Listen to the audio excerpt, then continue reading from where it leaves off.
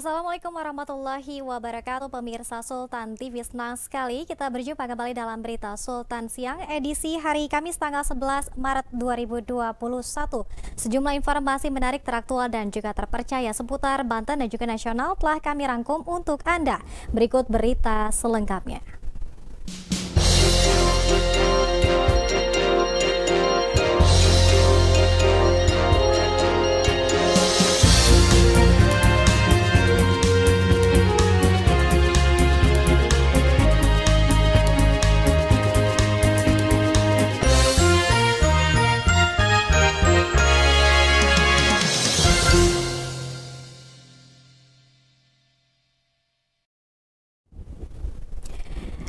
Baik pemirsa kita ke informasi pertama di siang hari ini. Pemirsa Satgas Penanganan COVID-19 Jakarta Barat Yang tengah menggelar operasi protokol kesehatan Membubarkan sekelompok orang yang tengah berpesta minuman keras Diiringi musik dangdut. Di dalam kios bensin eceran di kawasan Kalideres Petugas hanya memberikan surat teguran dan menutup kios tersebut satu persatu pelaku keluar dari dalam kios bensin eceran saat Satgas Penanganan COVID-19 Kota Jakarta Barat mendatangi kios yang berlokasi di Pegadungan Kalideres. Bukan tanpa alasan, petugas menyambangi kios ini lantaran terdengar suara musik cukup keras meski waktu telah menunjukkan dini hari. Terlebih saat digerebek banyak pria yang tengah asik melakukan pesta miras tanpa menjaga jarak. Kendati sudah tertangkap bahasa petugas, sejumlah warga tersebut tetap berkilah jika mereka baru pertama kali berkumpul dan bukan sedang pesta miras. Banyak berapa dari warga mana aja tuh? Asli sini semua. Asli semua. Kok pakai ada minum-minuman, Pak? Ya, mungkin dia orang pada kalau nggak nyanyi nggak enak gitu, Pak, kalau nggak ada minuman. Hmm, tapi sering di sini. Kadang-kadang wah saya nggak. Kadang-kadang ya, uh... nggak tentu tiap hari. Kalau pengen di orang mereka pengen. Mereka itu siapa security sini atau Enggak, kawan? Kawan semua ya. Iya. Tahu PSBB gak pak? Tahu sih pak. Nah. Tahu nggak boleh berkerumun atau berkumpul bang? Iya. Iya. Hmm. Tadi ada ceweknya juga tuh. Dari mana tuh cewek? Itu tadi ada teman saya, bininya. Kendati hanya memberikan teguran dan membubarkan, petugas tetap menyita miras sisa konsumsi, peralatan sound system musik, dan mendata pemilik tempat warga ini berkerumun. Malam ini kita membuarkan ada di tongkrongan-tongkrongan anak-anak lagi uh, minum-minuman keras, kita bubarkan dan uh, alat musiknya kita sita. Oh. Dan selanjutnya ada juga restoran yang menjual minuman keras masih buka di lebih di atas jam 9 malam. Tidak hanya memberi teguran secara lisan atas pelanggaran penjualan miras dan buka di atas waktu yang telah ditetapkan, petugas juga memberikan sanksi teguran tertulis agar pemilik menutup sementara operasional kedai makanannya serta menyita seluruh miras. Tim jurnalis TV dari Jakarta memberitakan.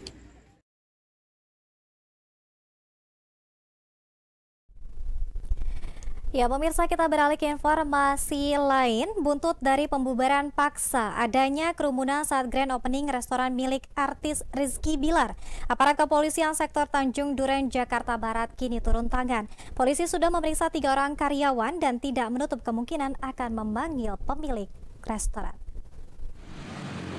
Kerumunan saat grand opening restoran milik artis Rizky Bilar berbuntut panjang usai disegel Satpol PP pada kemarin Polisi juga mulai melakukan penyelidikan dalam kasus kerumunan ini.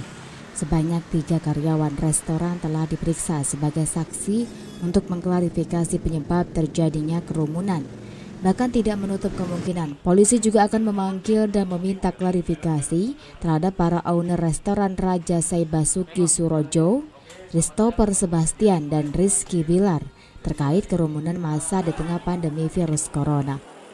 Jadi baik, uh, kita kemarin bersama dengan Satpol PP uh, melihat ada kerumunan pada saat terjadi grand opening di salah satu resto di wilayah Tanjung Duren.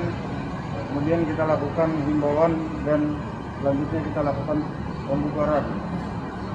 Uh, dan oleh pihak Satpol PP restoran tersebut sudah diambil langkah-langkah eh, dengan berupa penyegelan selama satu kali 24 jam.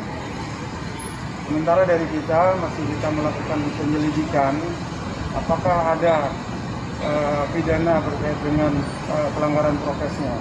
Masih kita lakukan penyelidikan. Uh, jadi sementara ini baru tiga orang yang sudah kita mintai uh, keterangannya berkait dengan klarifikasi. Masih dalam proses penyelidikan. Uh, kita masih meminta keterangan dalam bentuk klarifikasi. Nanti kita lihat perkembangan situasi dan kita lihat dari hasil pemeriksaan uh, keterangan yang diberikan oleh tiga orang tersebut. Selain itu, penyelenggara juga tidak mengantongi izin kegiatan dari kepolisian terkait diselenggarakannya grand opening restoran cepat saji tersebut. Hingga kini, polisi masih menyelidiki adanya unsur pidana dalam kasus ini. Tim jurnalis Sultan TV dari Jakarta memberitakan.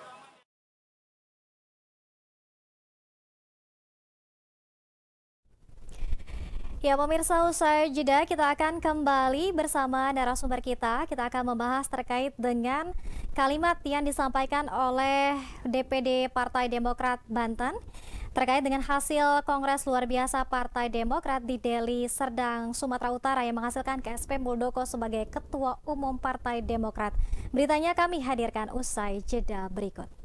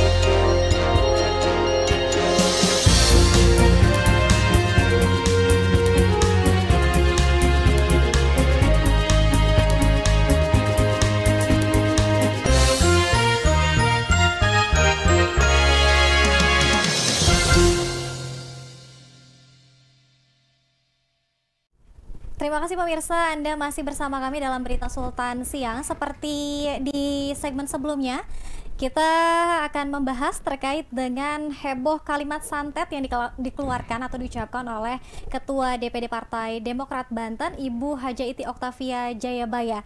Uh, sebelumnya kita juga informasikan bahwa sebelumnya kita telah mencoba memfollow up uh, dari Partai Demokrat uh, Banten dan juga Partai Demokrat dari Kabupaten Lebak sekaligus juga dari Humas Protokoler uh, Lebak.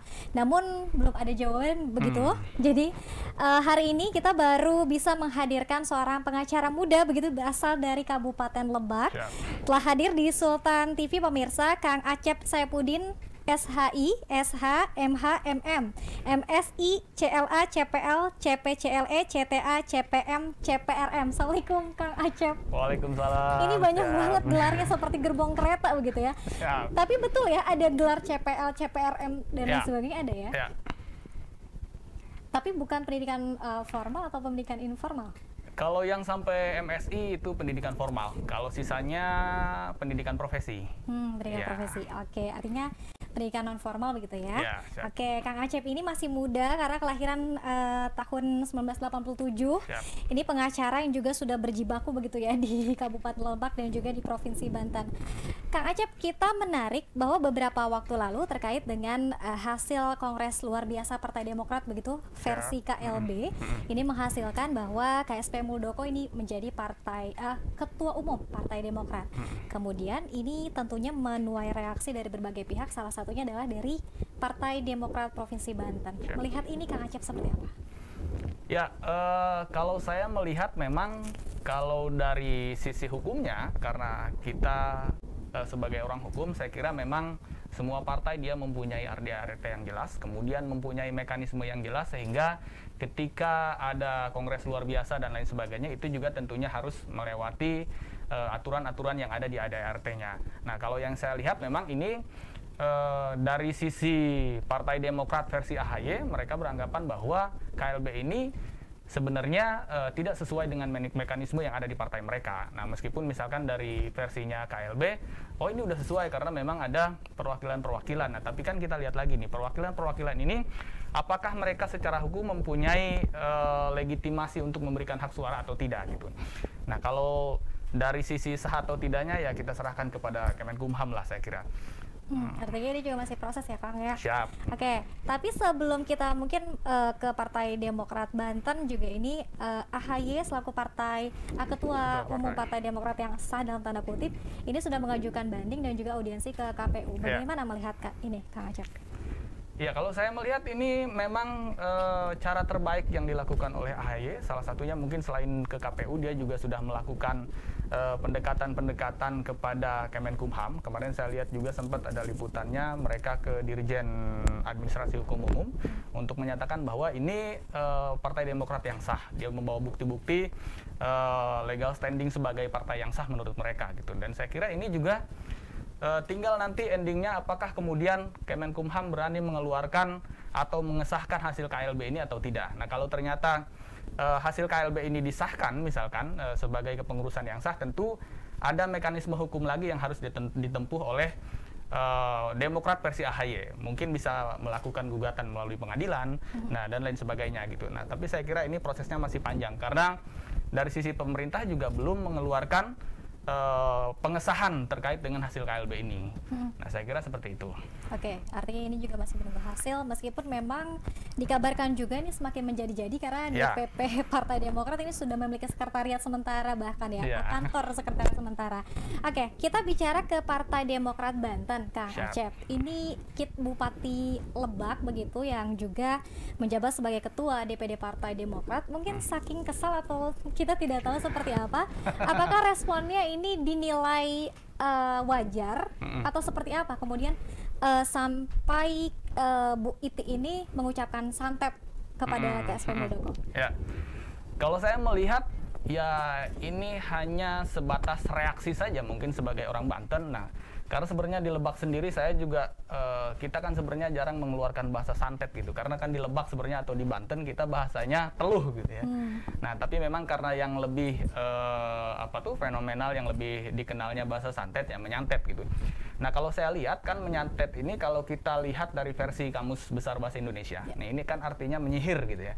Nah, kalau dari segi hukum, nah sebenarnya, nah kita juga harus melihat nih, apakah kemudian ada aturan hukum yang melarang kita untuk uh, mengucapkan kata-kata itu atau tidak. Nah kan kalau kita lihat ini yang di framing yang banyak kemudian berita-berita di media ini kan uh, seolah-olah uh, Ketua DPD Partai Demokrat Hajah Iti Oktavia SEMM seolah-olah dia mengancam Muldoko, gitu. yeah. mengancam Muldoko untuk kemudian disantet nih.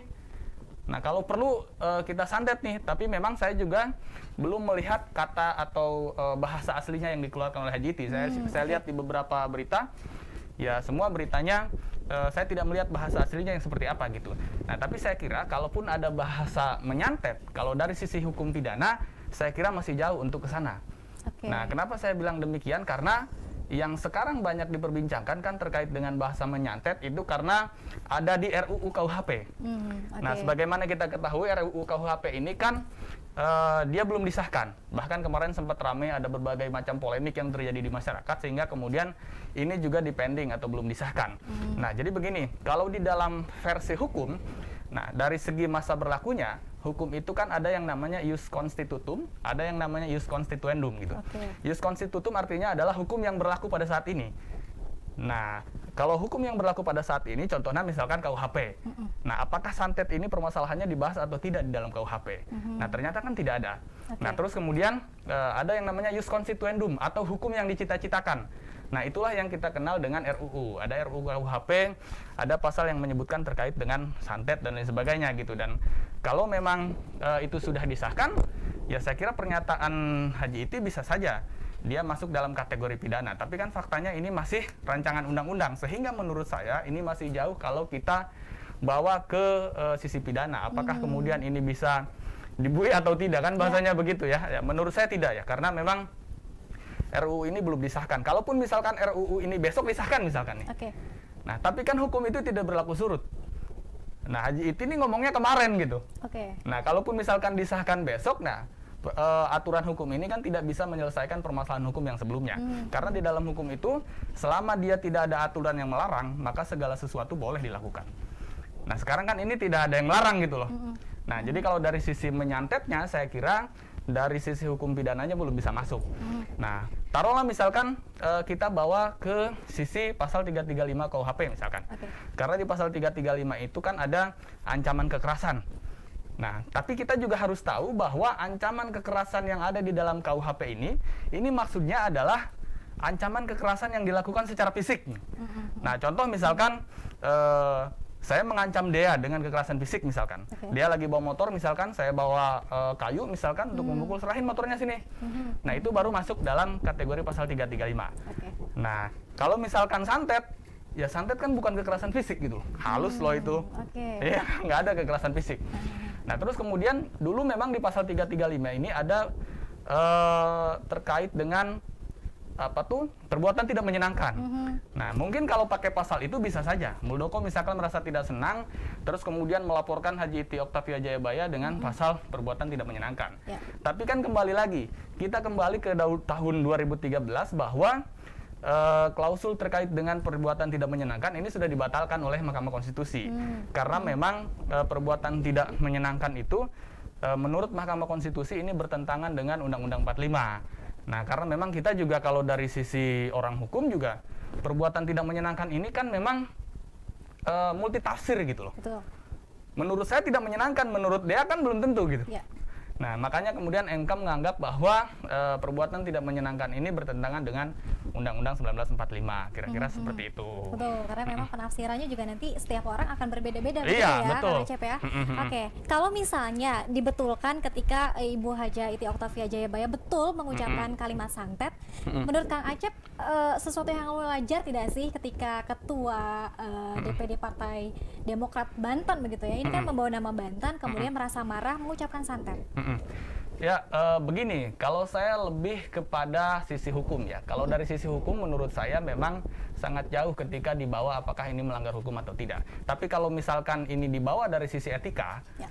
Nah, ini kan kembali lagi kepada eh, apakah Haji Iti pada saat itu menyampaikannya sebagai ketua Demokrat atau Hmm. sebagai bupati. Nah, kalau misalkan sebagai ketua DPD Partai Demokrat Provinsi Banten, nah tentunya yang bisa memutuskan apakah itu melanggar etika atau tidak kan partainya sendiri. Hmm. Nah, kalau misalkan menurut eh, DPP Partai Demokrat ini melanggar etika, ya mungkin mereka punya sanksi tersendiri.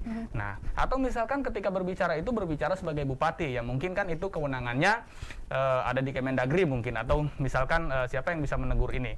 Nah, saya juga kan belum bisa berkomentar apakah ini dari sisi etikanya melanggar atau tidak.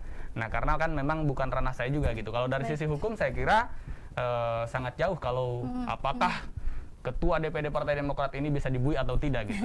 Oke. Masih jauh saya kira. Masih jauh ya. Ya. Tapi ada tidak sih Kang yang mungkin eh, mungkin kalau secara apa gamblang menyebutkan santet di undang-undang barangkali tidak ada ya. Tapi kalau pengancam seperti itu ada. Ya, kalau kalau secara gamblang bahasa santet, menyantet ya? misalkan tidak ada.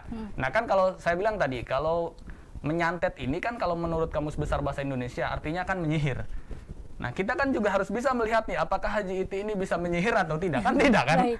Ya, apakah ini bisa dibuktikan atau tidak? Kan sebenarnya eh, kalau kita bawa kepada ancaman kekerasan, ancaman kekerasan itu kan harus ada eh, apa tuh tindakan pendahuluannya seperti apa? Ini kan nggak ada. Saya kira kan ini hanya reaksi saja, reaksi mungkin karena kekesalan, karena partainya ada yang mengusik, yang menurut mereka inkonstitusional gitu. Saya kira ya wajar-wajar saja sebenarnya. Tinggal eh, apakah masyarakat menilainya ini sesuatu hal yang wajar atau tidak?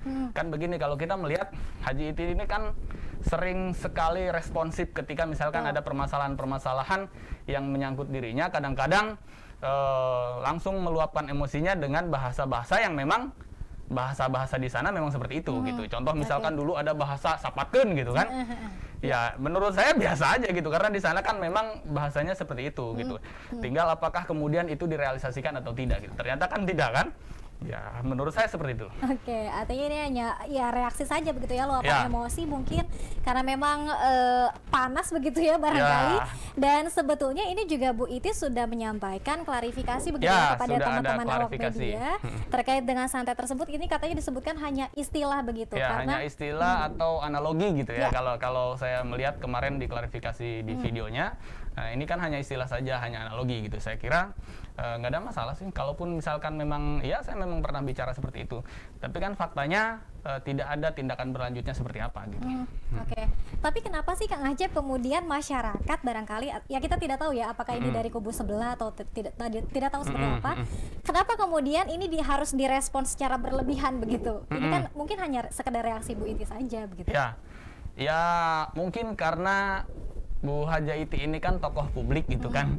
Nah makanya ketika mengeluarkan bahasa-bahasa yang eh, cukup keras gitu, terkadang direspon eh, oleh teman-teman media sehingga menjadi ramai gitu kan, sehingga bahkan sampai ke media-media nasional gitu.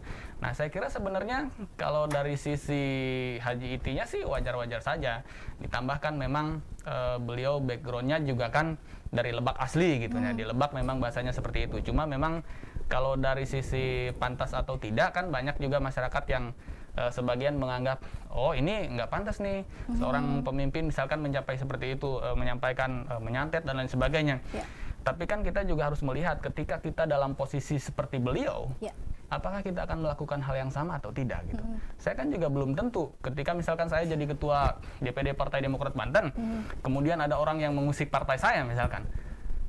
Saya kan juga belum tentu tidak melakukan hal yang sama dengan yang Ya. dilakukan oleh Haji Iti, bahkan mungkin bisa saja lebih. Nah, tapi kan kita sebelum melakukan hal itu kita juga melihat dulu nih dari sisi hukumnya, apakah kemudian eh, apa yang kita sampaikan akan melanggar hukum atau tidak. Nah, ternyata kan kalau dari sisi hukum pidana ya masih jauh saya kira. Oke. Kalaupun misalkan nanti ke depan misalkan Pak Muldoko melaporkan Haji Iti misalkan, ya saya kira kalau kita berbicara secara normatif hukum pidana masih jauh saya kira. Nah, kecuali misalkan eh, ada hal-hal lain ya, kriminalisasi dan lain sebagainya gitu. Oke, kalau misalnya eh, apa Ketua Umum Partai Demokrat versi KLB, KSP Muldoko ini kemudian melaporkan Ibu Haja Iti Oktavia Jayabaya, apa eh, landasan undang-undang yang paling mungkin mendekati hal tersebut? Apa kira-kira Kang?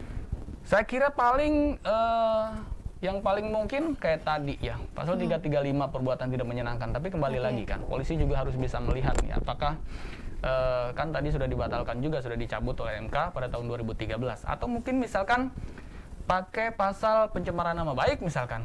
Nah, tapi kan ini juga harus diuji nih, apakah kemudian bahasa yang dikeluarkan oleh Haji Iti ini mengandung unsur uh, pencemaran nama baik atau tidak? Apakah misalkan masuk dalam kategori pasal 310, 311 atau misalkan Undang-Undang ITE pasal 27 ayat 3, Yunto pasal 45 ayat 1 misalkan, apakah Oke. memenuhi itu atau tidak gitu. Nah, saya juga kan uh, belum melihat redaksi aslinya seperti apa nih ngomongnya. Oke. Nah, karena kan yang saya dengar eh, menyantet dan lain sebagainya, mau menyantet Muldoko, tapi bahasa aslinya yang dikeluarkan aja ini saya juga belum lihat gitu. Oke. Nah, apakah selain bahasa menyantet ini ada bahasa-bahasa lain yang contoh misalkan mencemar, mencemarkan nama baik Muldoko atau tidak? Nah, kalau ada mungkin bisa saja bisa dilaporkan. Tapi kan eh, terkait dengan pencemaran nama baik ITE juga ini sedang digodok juga kan di tingkat pusat ini eh, karena terlalu banyak korban sehingga kemudian perlu untuk direvisi gitu. Ya. Nah, kira-kira seperti itu. Dan kalau misalkan kalaupun pakai pasal pencemaran nama baik kan eh, saya kira kan Haji itu juga sudah eh, memberikan klarifikasi. Nah, bahwa itu kan hanya sebatas eh, analogi gitu kan opini yang reaksi terhadap sesuatu yang di luar daripada kehendaknya. Kira-kira seperti itu. Oke, artinya sekali lagi ditegaskan pemirsa dan juga masyarakat, ini sekalian edukasi hukum begitu ya, Siap. Ya. Eh, mungkin sempat eh, beredar dan juga eh, sampai sekarang barangkali ini masih viral juga di media sosial terkait dengan siap-siap dibui ya ibu gitu. Hmm. Ini ada kalimat-kalimat seperti itu, namun tadi sudah dijelaskan oleh pakar hukum kita, ini untuk apa dibui dan lain sebagainya ini juga masih sangat jauh begitu Ya. untuk apa kalimat yang diucapkan oleh Ibu Haja Iti Oktavia Jayabaya. Hmm. Terakhir Kang Acep ingin yang apa yang ingin disampaikan kepada mungkin masyarakat pemirsa Sultan TV terkait mungkin kasus ini ya. Ya, eh, saya kira terkait dengan kasus ini, eh, khususnya kepada teman-teman pers, misalkan, kita harus lebih banyak memberikan eh, pendidikan hukum kepada masyarakat. Bagaimana caranya agar kita bisa mencerdaskan masyarakat kita dari sisi hukum gitu. Nah, karena kalau kami dari sisi pengacara, kami memiliki keterbatasan untuk bisa menjangkau masyarakat sampai kepada tingkat bawah gitu. Nah, teman-teman pers kan sebenarnya eh, punya peluang untuk itu gitu punya peluang untuk memberikan edukasi hukum kepada masyarakat bahkan sampai kepada tingkat bawah gitu kan karena sekarang sampai ke desa-desa pun banyak masyarakat yang sudah mengerti eh, media sosial misalkan apalagi eh, nonton TV gitu kan Ya, jadi saya kira teman-teman pers lebih memiliki banyak peluang untuk memberikan penyadaran hukum kepada masyarakat. Nah, jadi saya kira eh, acara-acara seperti ini bagus saya kira untuk terus kemudian dikembangkan untuk memberikan edukasi kepada masyarakat. Nah, sehingga masyarakat ini tidak hanya melihat dari sebelah mata nih. Ya. Jadi hanya satu informasi aja misalkan oh ini bupati ini siap-siap dibui nih Betul. karena dia begini begini begini. Hmm. Nah, kan pembandingnya kita juga harus sampaikan. Nah, apakah kemudian apa yang disampaikan itu dari sisi hukumnya masuk atau tidak gitu kan? Nah, ternyata kalau versi saya mungkin versi yang lain berbeda karena memang kalau orang hukum kan kalau ada dua orang pasti kita berbeda gitu. Pasti ada tiga pendapat yang keluar gitu. Oke. Nah, sehingga kemudian bisa saja mungkin ada yang berpendapat, oh ini masuk nih. Tapi menurut saya, eh, saya sebagai profesi advokat, nah menurut saya ini kalau dari sisi pidananya masih jauh gitu. Kalaupun misalkan ini di framing sedemikian rupa, ini ada RUU yang dilanggar dan sebagainya. Tapi kan saya sampaikan tadi, ini baru RUU gitu, bukan hukum yang berlaku pada saat ini. Sehingga eh, kita juga harus memberikan eh, banyak edukasi kepada masyarakat bahwa hukum itu tidak tidak segampang itu kemudian orang dikatakan bisa dipenjara atau tidak misalkan dibui atau tidak. Toh kalaupun misalkan ini dinaikkan ke ranah hukum, misalkan dilaporkan pidana, kemudian diproses hukum kan belum tentu juga diputuskan bersalah atau tidak. Nah, kan kira-kira seperti itu. Nah, kita sebagai eh, orang-orang yang mengerti hukum, kita harus lebih memberikan banyak edukasi kepada masyarakat agar kemudian eh, masyarakat ini tidak terlalu mudah eh, memberikan justifikasi bahwa seseorang itu melanggar hukum atau tidak gitu kan. Nah, kita harus banyak memberikan eh, pencerdasan-pencerdasan hukum kepada masyarakat bahwa seseorang itu dia belum tentu bisa dinyatakan bersalah sepanjang belum ada putusan pengadilan. Baik. Orang kalaupun misalkan sudah dilaporkan ke polisi, belum tentu dia bersalah juga loh. Nah, kecuali misalkan sudah dilaporkan ke polisi, sudah dilimpahkan ke kejaksaan, kemudian sudah disidangkan, dan hasil akhirnya putusannya dinyatakan bersalah, baru kemudian itu kita eh, bisa sampaikan, oh ini ternyata perbuatannya salah. Nah, sepanjang belum ada putusan pengadilan yang berkekuatan hukum tetap, yang menyatakan bahwa itu bersalah, nah saya kira sah-sah saja. Nah, makanya kita harus eh, mengedepankan asas yang namanya kalau dalam hukum itu ada uh, asas presumption of innocence gitu, mm -hmm. asas praduga tidak bersalah. Nah, itu okay. yang kemudian harus kita ajarkan kepada masyarakat sampai kepada lapisan kelas bawah gitu. Oke. Okay. Nah, saya kira seperti itu. Ini awak media sangat penting begitu ya untuk edukasi hukum juga ya Kang ya. Tidak hanya dari profesi advokat, namun jangan sampai juga nih masyarakat tersulut ikut-ikut tersulut emosi, ya. kemudian sama sama-sama tidak tahu apa-apa ya, nanti malah Iya, nanti malah masyarakat yang yang terkena pidana gitu. okay. Iya kan, komen begini-begini, hmm. nanti malah kena pencemaran nama baik okay. gitu kan. Jadi saya kira harus hati-hati juga. Ya. Baik, terima kasih banyak Kang Acep Saya Pudin. Saya sekali lagi ingin membacakan gelarnya begitu ya pemirsa. Ya. Kang Acep Saya Pudin SHI, SH, MH, MM, MSI, CLA, CPL, CP, CLE, CTA, CPM, CPRM telah hadir di studio Sultan TV. Mudah-mudahan nanti di lain kesempatan kita bisa berbincang kembali ya terkait dengan edukasi hukum siap, dan siap. juga mungkin akan ada apa rekaman-rekaman peristiwa lainnya. Terkait dengan dunia hukum kita begitu ya yang ada di tengah masyarakat. Pemirsa, terima kasih atas kebersamaan Anda. Nanti kita akan berjumpa kembali dalam berita Sultan lainnya. Akhirnya saya Delin Tamungi beserta seluruh kerabat kerja pamit undur diri. Sampai jumpa. Wassalamualaikum warahmatullahi wabarakatuh.